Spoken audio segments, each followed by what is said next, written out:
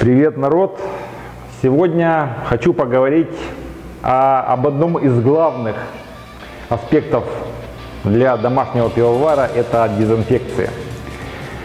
Это очень важный момент, потому что работа, скажем так, тяжелая, хотя она для души, и многие с удовольствием варят, потом ждут брожения, когда оно там получится. Но обиднее всего получить на выходе через месяц скисший продукт, какую-то бурду вонючую, Що це таке, не знаю. Запах різкий і неприємний. Какая гадость! Это очень обидно. И тут, как говорится, лучше перебдеть, чем недобдеть. Лучше еще раз продезинфицировать то, что вы вроде подумали, что продезинфицировали, но не уверены. Лучше еще раз продезинфицируйте. Значит, дезинфекция. Что такое вообще из дезинфекция? Или как вот так по-лекторски, по-профессорски. Э, Что такое дезинфекция? Дезинфекция – это уничтожение патогенных микроорганизмов в окружающей нас среде. Будь добры помедленнее. Я записываю. Ну, по-простому, короче, надо всех этих гадов замочить, чтобы они не портили наше пиво. Существует э, пять э, степеней дезинфекции, пять видов дезинфекции. Первое – это механическая. Все загрязнения, которые вот э, ДК там в бродильных баках, э, которая плотно на, налипает, она вся должна быть удалена механически. Все загрязнения, которые отмываются просто водой, сначала надо все это тщательно отмыть.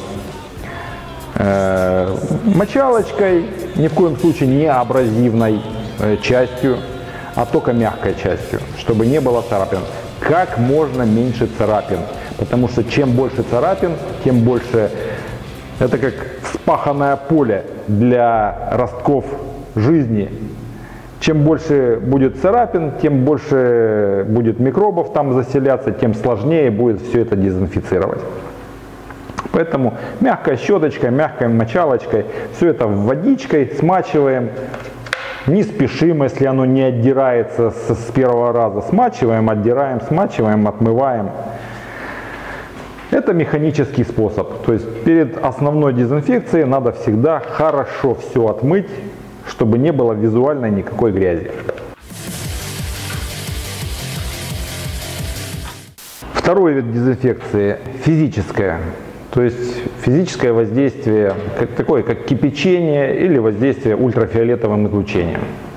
Очень хорошо помогает. То есть некоторые предметы мелкие, которые можно э, замочить в воду, поставить на э, плиточку, прокипятить, очень хорошо действует м, на ну, для микроорганизмов это не очень хорошо, для нас очень хорошо.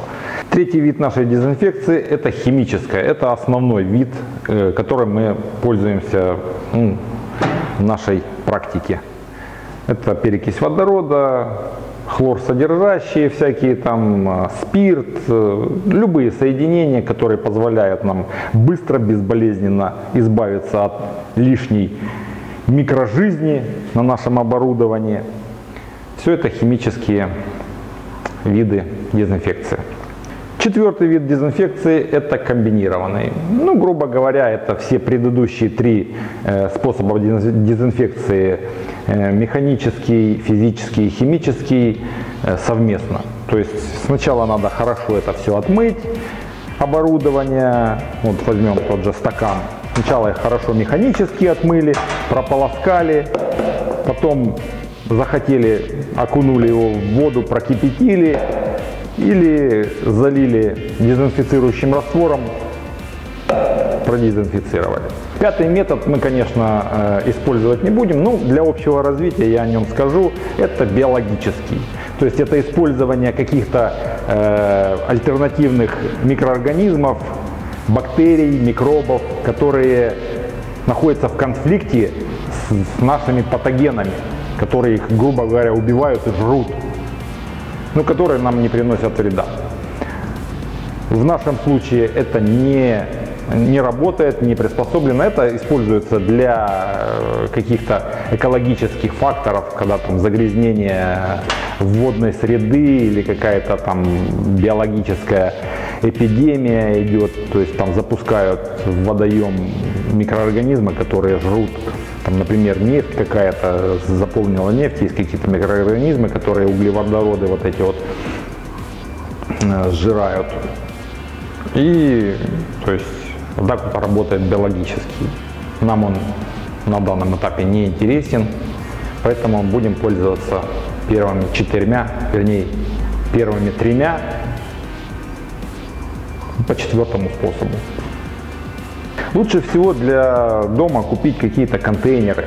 У меня вот с нержавейки есть, э, можно пластиковые какие-то, которые легко можно продезинфицировать. Есть даже пластик, который выдерживает температуру кипячения, там до 110 градусов, по-моему, он выдерживает, который можно кипятить. Тоже очень э, интересная такая вещь. Можно в кастрюльке где-то прокипятить его, туда сложить мелкие там какие-то детальки и закрыть плотненько, оно там будет. Ну, с нержавейки тоже такие вот кастрюльки неплохие.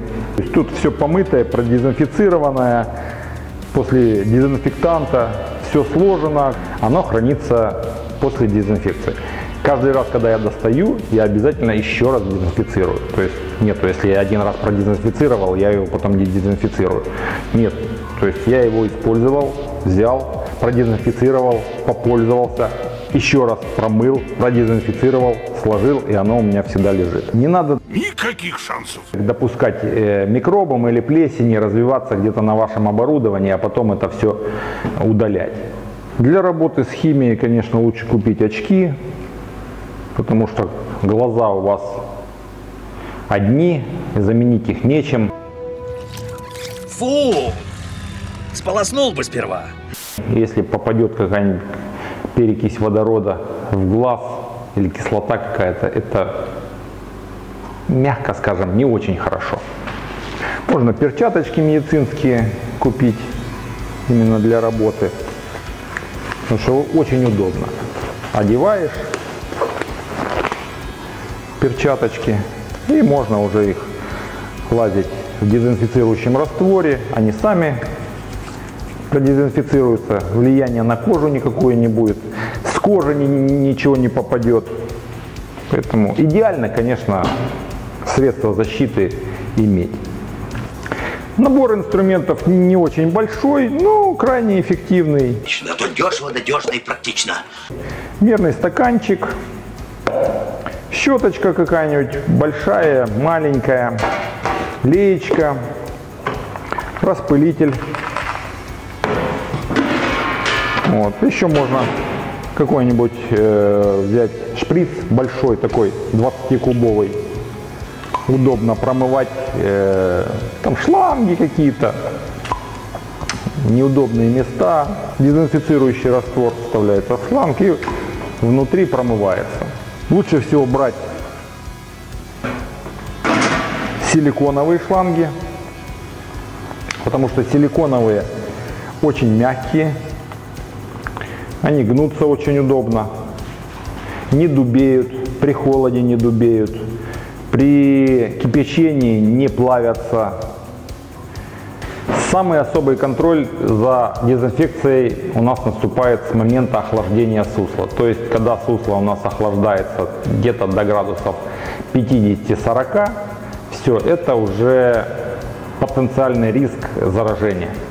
Наше проваренное и охлажденное сусло – это совершенно стерильная среда. И наша задача максимально быстро и чисто перелить в бродильный бак все это дело, чтобы у нас не было никакого заражения. И быстренько засеять дрожжами. Как я подготавливаю нашу бродильную емкость? Вот такую вот обычную бродильную емкость домашнего пивовара. Во-первых, я ее мою, как я уже рассказывал. Все это промываю.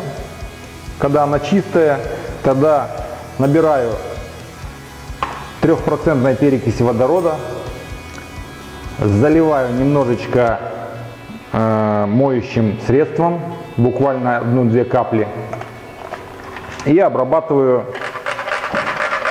полностью всю поверхность нашего бака. И в течение там 10 минут, например, постоит. Можно еще за это время пару раз обработать наш бак. Правда, потом обязательно надо смыть это все мыльный раствор кипяточком. То есть чайник закипел, подняли и вот так вот все слили, вылили. Пару раз и у вас 100% будет стерильная идеальная посуда. Что такое перекись водорода и как она действует на микробы?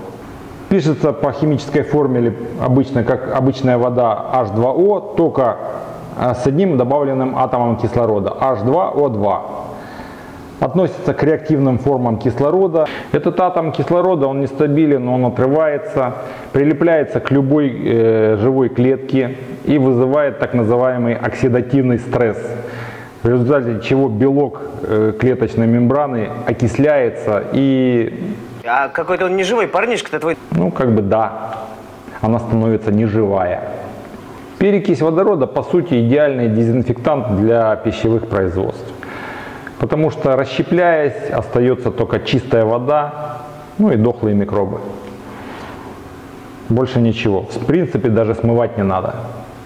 Но один нюанс – Та перекись водорода, которая продается в э, аптеках, она идет с добавкой.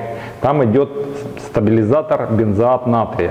Бензоат натрия, он в принципе не вреден для человека, ничего там страшного нету, но это э, сильное средство микологическое такое, он подавляет очень хорошо. Дрожжевые, плесневые, там грибные вот эти вот все клетки, очень сильно действует на грибы.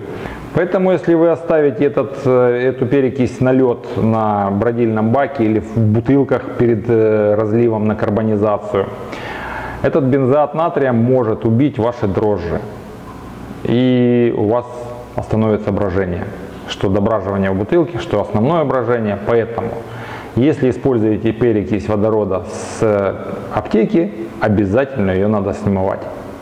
Ну, плюс к тому, если вы добавляете туда а, средства для посуды, мыльное, все равно надо смывать. Даже если вы используете чистую перекись с аптеки, ее все равно надо смыть кипятком. Ни в коем случае не сырой водой. И еще один отличный дезинфектант, который легко можно найти в домашних условиях, купить, сделать самому наш любимый C2H5OH или этанол, или этиловый спирт.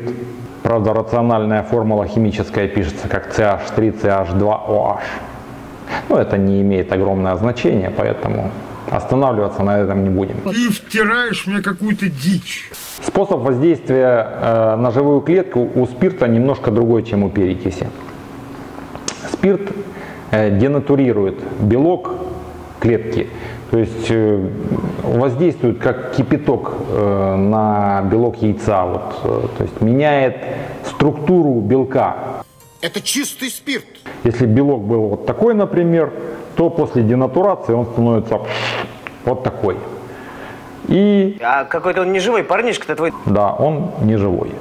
Рабочим дезинфицирующим раствором спирт э, считается с концентрацией начиная от 50%. Но чем выше концентрация, тем быстрее, э, меньше надо выдерживать. То есть 50% там надо выдерживать там, полчаса, 40 минут. Чем выше концентрация, тем меньше надо выдерживать. И один момент. Самый чистый спирт 98, там 99 процентный он не работает. Вот такая вот у него особенность, он э, практически не убивает ничего.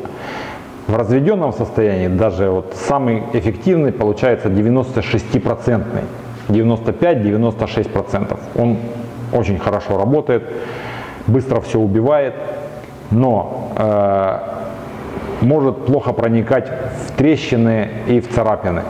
Самая лучшая эффективная концентрация считается 76-80% спирта. А, Этот раствор эффективно проникает во все щели, во все трещины, смачивает все и очень быстро убивает все бактерии и микроорганизмы. Единственное, спирт не работает, это его минус, на споровые формы. Что такое споровая форма? При неблагоприятных условиях э, клетка, она теряет до двух третей где-то э, влаги своей, она усыхает, покрывается коркой такой защитной и пережидает неблагоприятные условия жизни. Это очень серьезная защита, защитная форма клетки. Э, Некоторые формы могут э, 3-4 часа кипячения выдержать, э, температуру жидкого азота выдержать, то есть их ничего не убьет. Очень э, серьезно там химическим э, дезинфектантом, то есть устойчивость у них сильная. Вот спирт, например, их не берет. То есть они могут плавать в этом спирте любой концентрации, эти споровые засохшие клетки, и им ничего не будет. А перекись, например, хорошо справляется и со споровыми э, формами. Правда, начиная с 6% концентрации, она очень хорошо и быстро убивает даже споровые формы. И ультрафиолет. Ультрафиолет действует как на живые, так и на споровые формы, убивая все. Так что, если есть возможность какую-то лампу ультрафиолетовую повесить, ну, вот, то открытые поверхности и воздух особенно очень хорошо дезинфицирует. Верная смерть. Поэтому можно сделать рабочий раствор э, спирта, разбавляя его не водой, а лучше всего не водой, а перекисью водорода. 3 или 6% перекисью водорода. То есть взять чистый спирт э, 99,8%, по нашему калькулятору посмотреть, сколько получится разбавить его, чтобы получилось там 76 или 80 процентов, и добавить нужное количество не воды, а перекиси водорода. Таким образом в спирте не будет ни споровых культур, и он будет убивать вегетативные, то есть живые формы микрожизни. Лично я дезинфицирую так, то есть перекись водорода с, э, с каким-нибудь жидким мылом, все это обрабатываю, Здесь обрабатываю. Оно у меня выстаивается минут 10. Пару-тройку раз обрабатываю это дело, чтобы возобновить эффект. Потом кипятком.